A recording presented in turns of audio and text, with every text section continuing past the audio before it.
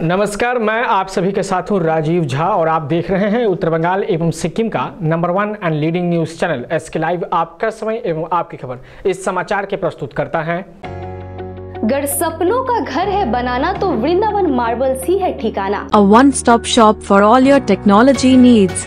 Computer and hardware to high-speed copiers. Kusum Infotech. Create your own world in your way. PIS. Apollo Clinic, now in Siliguri. अब बढ़ते हैं आज के प्रमुख headlines की तरफ़ कल से 25 वर्षों बाद सिक्किम में एक नए युग, यानी एसकेएम सरकार की शुरुआत मेयर अशोक भट्टाचार्य ने कहा कि मंत्री गौतम देव एसजेडीए के बेहतर चेयरमैन अलीपुरद्वार में युवक के ऊपर धर धर हथियार से हमला करने का आरोप लगा भाजपा कार्यकर्ता पर।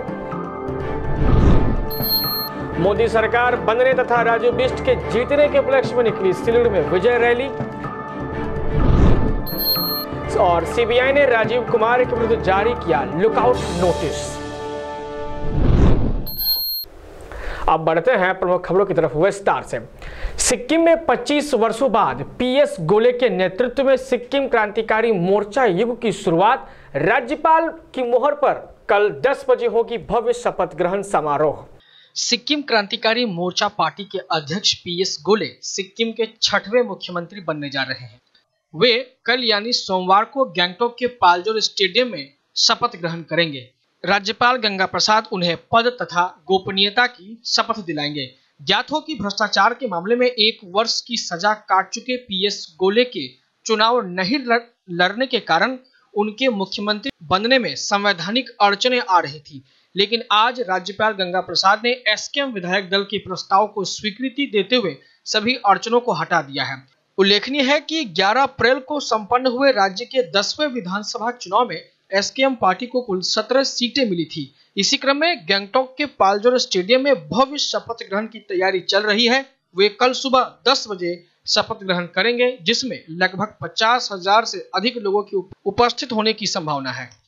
सिलीगुड़ी नगर निगम के मेयर अशोक भट्टाचार्य ने पत्रकार सम्मेलन कर कहा कि किसी भी सूरत में विजय चंद्र वर्मन को एसडीडीए चेयरमैन बनाना बर्दाश्त नहीं किया जाएगा साथ ही कहा कि मंत्री गौतम देव एसडीडीए चेयरमैन के रूप में बेहतर प्रशासक रहे গতকাল মুখ্যমন্ত্রী কতগুলি কথা কোথাও রাজনৈতিক কথাবার্তা বলেছেন আমার এই সময় কোনো মন্তব্য নেই উনি বলেছেন কাকে কী করবেন না করবেন সেটা অন্য কথা কিন্তু উনি কতগুলো হেরো মানুষদের পুনর্বাসন দিয়েছেন পরাজিতদের পুনর্বাসন দিয়েছেন সরকারি জায়গাতে। সিদ্ধান্ত ঘোষণা করেছেন কালকে। অত্যন্ত অনৈতিক এটা। অগণতান্ত্রিক, অনৈতিক।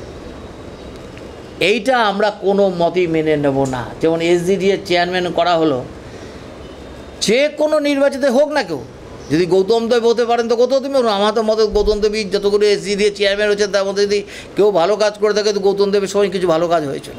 তার একটা পরিকল্পনা ছিল, কিছুটা অন্তত পক্ষে। যাই হোক। এটা অন্য ব্যাপার কিন্তু কেন একজন সৌরভ চক্রবর্তীকে সরিয়ে কাকে আনবে আমি এটা না কেন একজন পরাজিত হয়েছে জলপাইগুড়িতে সদ্য তাকে কেন এসডিডি চেয়ারম্যান করা হবে अलीपुरद्वार के ढलपलेर कुमारीजान इलाके के एक युवक के ऊपर धारदार हथियार से हमला करने का आरोप लगा भाजपा कार्यकर्ता पर गंभीर रूप से घायल उस युवक को अलीपुरद्वार जिला अस्पताल में भर्ती कराया गया है। घायल युवक का नाम रंजन सरकार है। रंजन के बड़े भाई स्थानीय तृणमूल कांग्रेस के कार्यकर्ता हैं, लेकिन रंजन कोई पार्टी नहीं करता है। बताया जा रहा है कि सिलीगुड़ी से कल रात ही रंजन अपने गाँव वापस आज सुबह ही आया था, जिसके बाद रंजन अपने घर के पास ब्रश खरीदने के लिए गया। उसी दौरान भाजपा कर्मी ने रंजन के ऊपर धारदार हथियार से हमला कर दिया। इसको लेकर स्थानीय पाँच भाजपा कार्यकर्ताओं के विरुद्ध थाने में शिकायत दर्ज कराई गई है। वहीं भाजपा जिला सभापति गंगा प्रसाद शर्मा ने इन आरोपों को निराधार बताया है। दार्जिलिंग लोकसभा सीट पर भाजपा उम्मीदवार राजू बिष्ट को रिकॉर्ड जीत मिलने और मोदी जी के दोबारा प्रधानमंत्री बनने की खुशी में लोकसभा चुनाव परिणाम घोषित होने के चौथे दिन भी सिलीगुड़ी में भाजपा के जीत का जश्न जारी है। इसी क्रम में रविवार को सिलीगुड़ी नगर निगम की पाँच व छह नंबर भाजपा मंडल कमेटी के तत्वाधान में 25 नंबर वार्ड तथा 31 व 32 नंबर वार्ड में भी विजय रैली निकाली गई। इस दौरान पाँच नंबर मंडल अध्यक्ष आदित्य मोदक ने इस विजय रैली का नेतृत्व किए। भाजपा की इस विजय रैली में काफ़ी संख्या में भाजपा नेता व कार्यकर्ताओं ने हिस्सा लिया। विजय रैली शहर के प्रमुख मार्गों की परिक्रमा की। इस दौरान भाजपा समर्थक जय श्री राम व नरेंद्र मोदी के जयकारे भी लगाए। इस दौरान पूरे गाजे बाजा के साथ निकली इस रैली में भाजपा समर्थकों को जीत की खुशी में झूमते हुए भी देखा गया। लोकसभा चुनाव के बाद पश्चिम बंगाल के मालदा ज़िले में पुलिस ने सात लाख रुपए के नकली नोटों के साथ नकली नोटों की तस्करी करने वाले गिरोह के मुख्य सरगना को किया गिरफ़्तार। मालदा ज़िले के मानिकचक थाने की पुलिस ने बताया कि तस्कर को रविवार सुबह मानिकचक के इनायतपुर इलाके से दबोचा गया। हालाँकि इस अभियान में तस्कर गिरोह के अन्य सदस्य भागने में कामयाब रहे, उसकी तलाश में जगह जगह छापेमारी की जा रही है।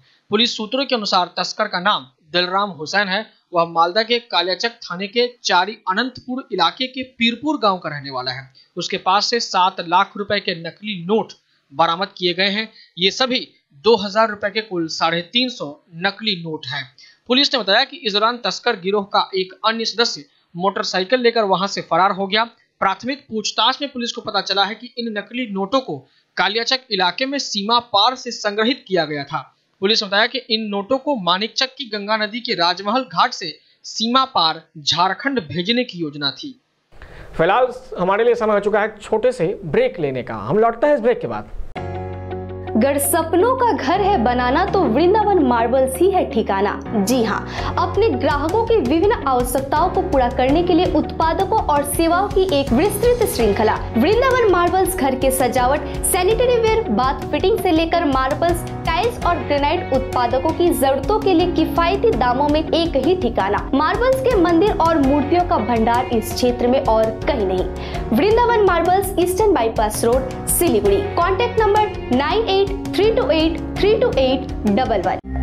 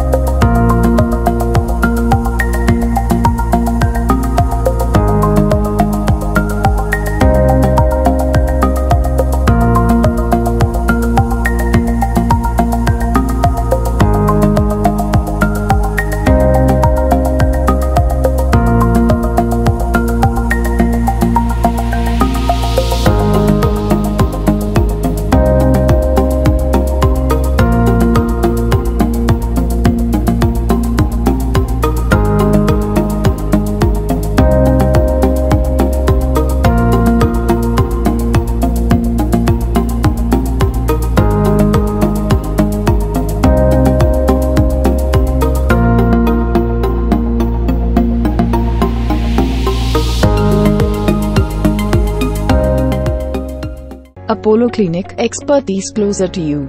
Apollo Clinic, now in Siliguri. Services offered, doctor consultation, all kind of blood tests, USG, echocardiography, TMT and PFT, including Apollo Dental Clinic.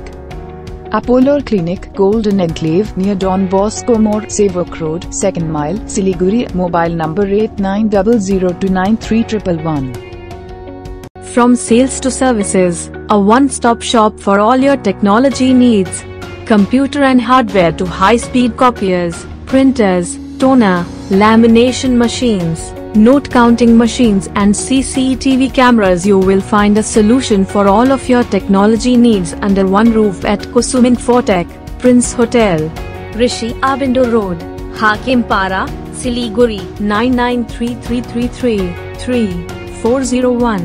Break के बाद एक बार फिर से आप सभी का स्वागत है मुख्यमंत्री ममता बनर्जी के करीबी पुलिस अधिकारी राजीव कुमार की बढ़ी मुश्किलें सीबीआई ने जारी किया लुकआउट नोटिस। पश्चिम बंगाल के पुलिस कमिश्नर राजीव कुमार की मुश्किलें बढ़ती जा रही हैं। सीबीआई ने राजीव को लुकआउट नोटिस जारी कर दिया है।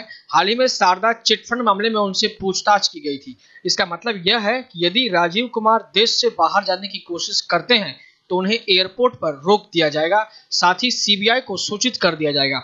नोटिस के मुताबिक राजीव अब एक साल तक देश से बाहर नहीं जा सकते हैं। ऐसा करने पर इमिग्रेशन अधिकारी उन्हें तत्काल गिरफ़्तार कर सीबीआई को सौंप देंगे। जानकारी के लिए बता दें कि इमिग्रेशन ब्यूरो गृह मंत्रालय के तहत काम करता है। गौरतलब है कि शारदा चिटफंड घोटाले मामले में गिरफ्तारी से राहत बढ़ाने की मांग करने वाली राजीव की याचिका को सुप्रीम कोर्ट ने खारिज कर दिया था। राजीव ने इसके बाद बारासात की निचली अदालत में अग्रिम जमानत के लिए याचिका दायर की थी, उसे भी खारिज कर दिया गया था। पश्चिम बंगाल के बांकुरा ज़िले में रविवार सुबह दस बजकर उनचालीस मिनट पर भूकंप के हल्के झटके महसूस किए गए।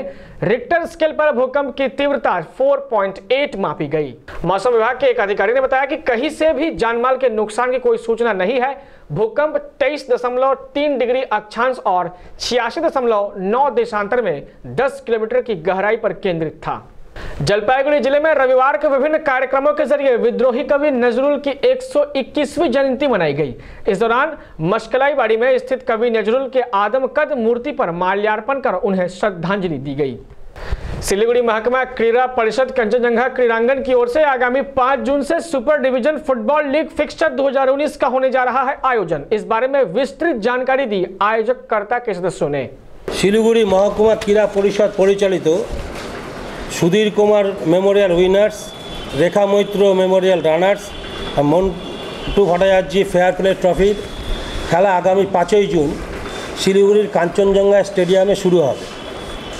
এই খেলায় মোট এগারোটি দল অংশগ্রহণ করবে সুপার ডিভিশনে খেলায়, যার প্রাইজ মূল্য আমরা রেখেছি চ্যাম্পিয়ন পঞ্চাশ হাজার টাকা,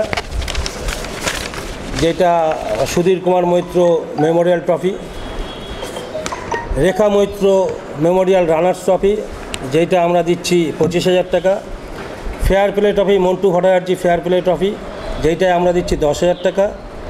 এর বাইরে থাকবে হায়েস্ট স্কোরার পাঁচ হাজার টাকা এবং বেস্ট প্লেয়ার পাঁচ হাজার টাকা। এইটা আমাদের সুপার ডিভিশন খেলার সূচি, যেটা আপনাদের হাতে আমরা অলরেডি তুলে দিয়েছি। अब तक के लिए इतना ही।